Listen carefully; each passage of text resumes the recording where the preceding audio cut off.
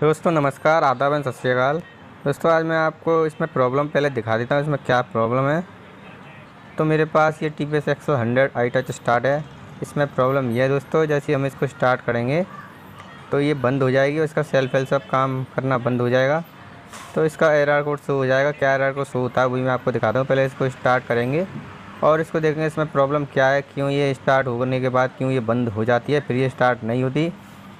ज़्यादा चलेगी तो ये दो चार मिनट या पाँच मिनट चलेगी और ये अपने आप ऑटोमेटिकली बंद हो जाएगी। तो पहले तो इसको स्टार्ट कर लेते हैं। तो दोस्तों देख रहे होंगे इसको हम स्टार्ट कर लेते हैं और फिर आपको दिखाएँगे। ये ऑटोमेटिक पे ही बंद हो जाएगी, इसका और इसका आर कोर शो करने लग जाएगा।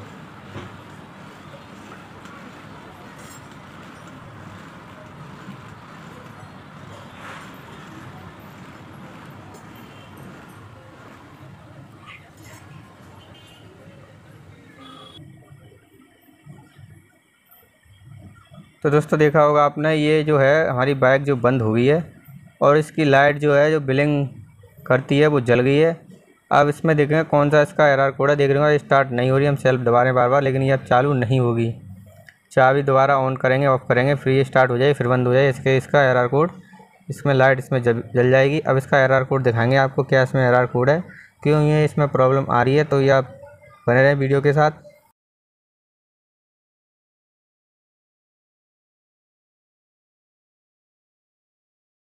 तो दोस्तों देखा होगा आपने इसमें, हमने इसका एरर कोड निकाल लिया है। इसका एरर कोड देखेंगे आप। वन तो आप देख रहे हैं इसका एरर कोड बता रही है तेरह, दस, ग्यारह, बारह, तेरह। तो ये तेरह एरर कोड बता रही है तो इसमें तेरह एरर कोड पर दोस्तों इसमें प्रॉब्लम होती है इसमें। इसमें तेरह एरर कोड में इसमें ना तो इसमें आरपीएम की प्रॉब्लम होती है जो बताते हैं उसमें, ना इसमें कोई प्लग वगैरह ख़राब हो जाए जब ये शो करता है। तेरह एरर कोड का मतलब होता है इसमें अगर हमारा जो करंट है जिस दूसरा जो जैसे वायर जो दो वायर होते हैं करंट के उस पर जो दबाव डालते हैं एक दूसरे के ऊपर तो क्या होता है, हमारा जो मैग्नेट है, वो बंद हो जाता है। तो इसमें कौन सा वायर इसमें अच्छा है, कौन सा वायर इसमें शॉर्ट है, कौन सा इसमें वायर क्या, कौन सा प्रॉब्लम कर रहा है तो वही मैं आपको बताने वाला हूँ। तो बने रहें वीडियो के साथ। तो वीडियो शुरू करने से पहले आपने हमारे इस चैनल को सब्सक्राइब नहीं किया, प्लीज़ को सब्सक्राइब कर लें, साथ ही साथ बेल आइकन दबा दें और इस वीडियो को लाइक कर दोस्तों। तो चलते हैं, वीडियो शुरू करते हैं और आपको दिखाते हैं। तो दोस्तों देख रहे होंगे, ये हमारी ब्लैक कलर की इसमें इस जो कॉयल जो लगी हुई है, अगर इसमें वाइट कलर की कॉयल लगी होती है, इसमें हॉल सेंसर होता तो इसमें हॉल सेंसर की कोई प्रॉब्लम नहीं है। तो हमें इसकी मैगनेट खोलने की ज़रूरत नहीं पड़ेगी, इसमें जो भी प्रॉब्लम होगी, इसकी या तो वायरिंग में होगी, और या इसका जो भी प्रॉब्लम होगी, मैं आपको दिखाऊँगा। तो देख होंगे आप, इसके हमारे जो हाथ में जो वायर लगा हुआ है, अगर इस कॉयल की अगर प्रॉब्लम होती है जो हमारे पास जो प्लग कॉयल ये होती है तो इसके स्विच वगैरह पहले तो हम देख लेते हैं इसकी कहीं कोई लूजिंग वगैरह, कोई पिन वगैरह ख़राब तो नहीं है। ये पिन तो देख रहे होंगे आप, बिल्कुल सही है, ये कहीं से ना शॉर्ट है, ना जली है तो इसको लगा देते हैं यूँ ही।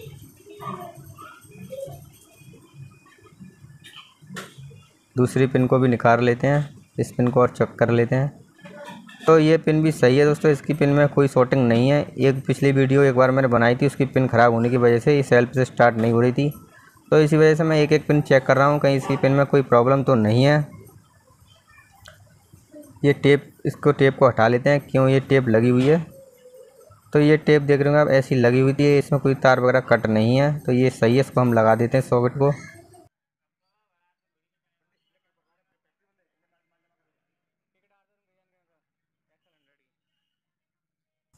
अब इस सॉकेट को भी निकाल लेते हैं इसमें से।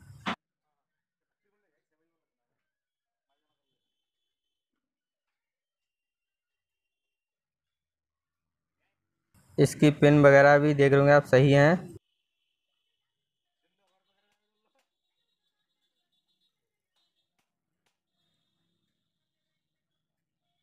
तो दोस्तों, इसकी जो हमने जो देखा है, इसमें सारे सॉकेट सही लगे हुए हैं। अब इसकी हम देखते हैं दोस्तों, इसकी वायरिंग में कोई प्रॉब्लम तो नहीं है।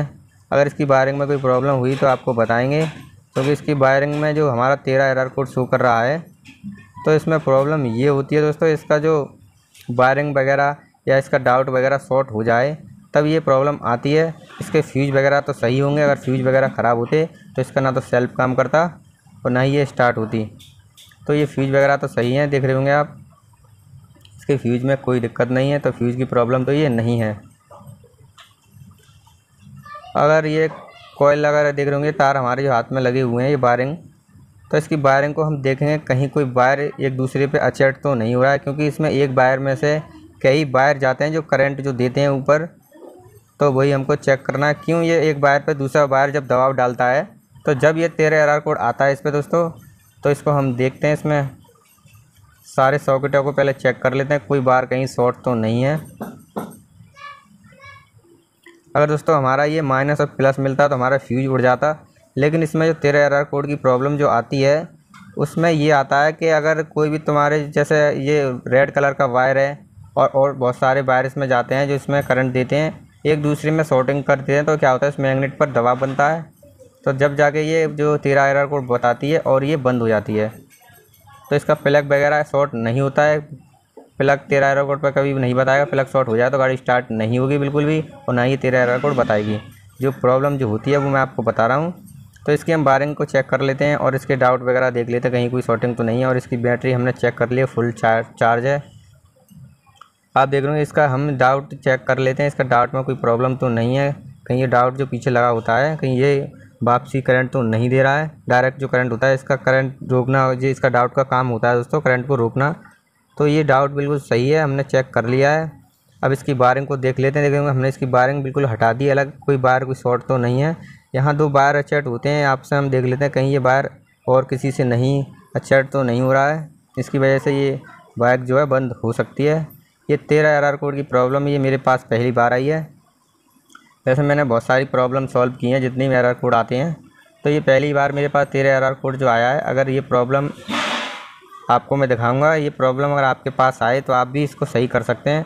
तो इसलिए मैं पूरी वीडियो और आपको डायरेक्ट दिखा रहा हूँ कहीं काट पीट नहीं करूँगा। तो इसके बारे में आप देखेंगे मैंने इधर भी जहाँ जहाँ जोंट लगे होते हैं उस जगह पर मैंने कट मार करके इस, इसके इस कटी हुई तो होती है इस पर टेप लगी होती है। तो इस टेप हटा करके ये खुल जाती है वायरिंग। आप देख रहे हो यहाँ पे एक दूसरे पे जो वायर जुड़े होते हैं, यहाँ पे एक वायर में कई वायर जुड़े होते हैं।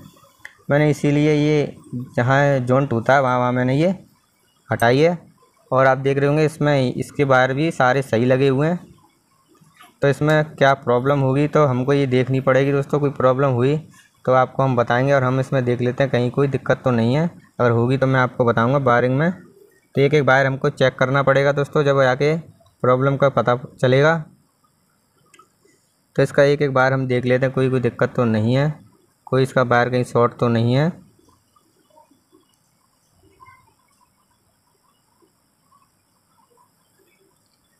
दोस्तों, देख रहे होंगे, हमने इसका जो वायर जो होते हैं सारे, वो हमने चेक कर लिए हैं।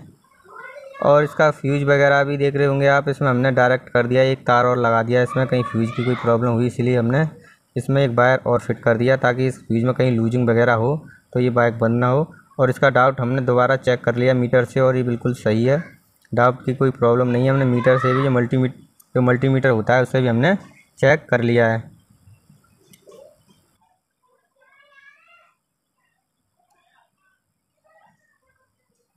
तो इसको वायर वगैरह देख लेते हैं सारे, चेक करके एक एक तभी इसकी प्रॉब्लम का पता चलेगा। तो दोस्तों इसमें मुझे सही करते करते इसमें रात हो गई है। ये मेरे पास दोपहर में आई थी और ये रात हो चुकी है। देख रहे होंगे आप कितना अंधेरा हो गया है यहाँ पर। तो इसका प्रॉब्लम अभी पता नहीं चला है। आप देख रहे होंगे, इसमें मैं दोपहर से मुझको रात हो गई। आप देख रहे होंगे, बारिश भी यहाँ हो रही है। बारिश भी शुरू हो गई है। और यहाँ दुकानों पर देख रहे होंगे, लाइट वगैरह भी जल गई यानी मुझको इसमें पूरा दिन हो गया लेकिन इस प्रॉब्लम को सॉल्व नहीं कर पाया हूँ मैं अभी।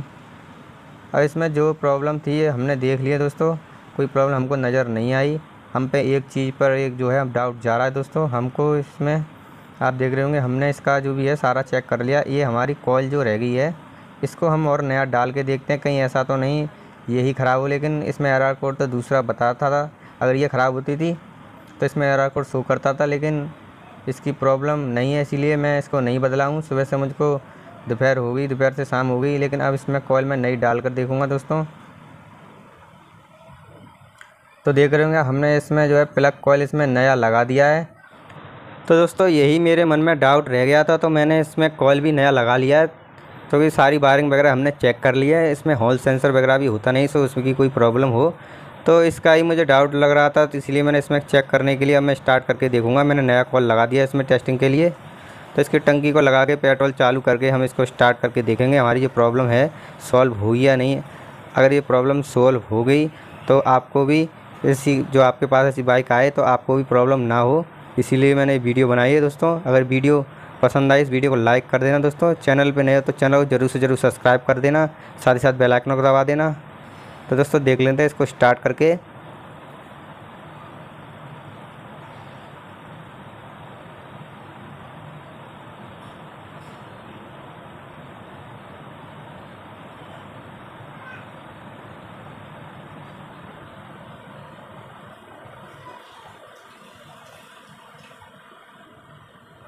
तो दोस्तों, ये जो है बाइक वो स्टार्ट हो चुकी है। अब देखेंगे ये बंद होगी या नहीं, क्योंकि ये थोड़ी देर बाद चलने के बाद दो तीन मिनट बाद अपने आप ही बंद हो जाती थी।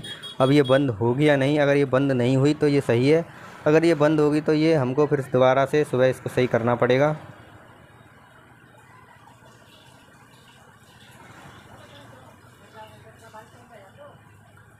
तो दोस्तों, अभी तो ये बंद नहीं हुई है, लेकिन ये अब तक बंद हो जानी चाहिए, लेकिन ये अभी तक चल रही है और देख लेते हैं।